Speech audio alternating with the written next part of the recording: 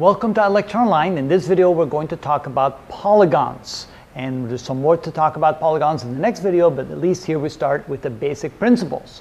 So first of all, the definition of a polygon is that it's the closed plane figure, and that's important. So it is a closed plane, meaning it has a perimeter. Not only that, it is formed by three or more line segments. So it's formed by straight line segments that form a complete enclosure in a plane format. So that's called a polygon and the, the line segments are therefore called sides.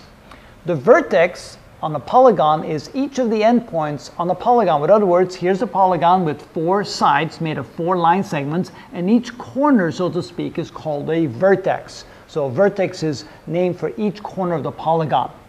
A convex polygon cannot extend the side into the interior of the polygon. So what does that mean?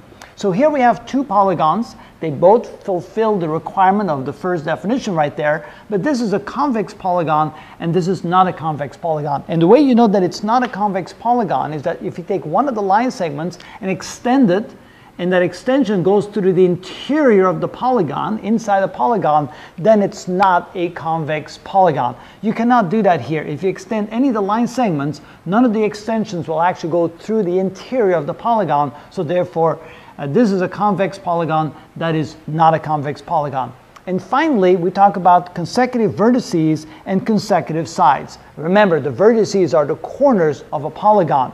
And consecutive means the next one as you go along a line segment. So if you start at A and you move along this line segment, you get to B, you can then say that A and B are consecutive vertices. But also A and C are consecutive vertices because you could start at A, move along the line segment to E, and that's the next vert vertex uh, starting from A, so therefore they're also called consecutive vertices. And finally, consecutive sides means that if you have one line segment, which is a side, and then you move on to the next line segment, this would then be a consecutive line segment. So the line segment AB is consecutive to the line segment BC, just as the line segment AB is consecutive to AE and AE is consecutive to ED and so forth. So it's the next line segment as you move along the sides of the polygon. So those are the basic definitions and principal names for polygons. And then let's continue on the next video to show you some more principles of polygons in geometry. And that's how it's done.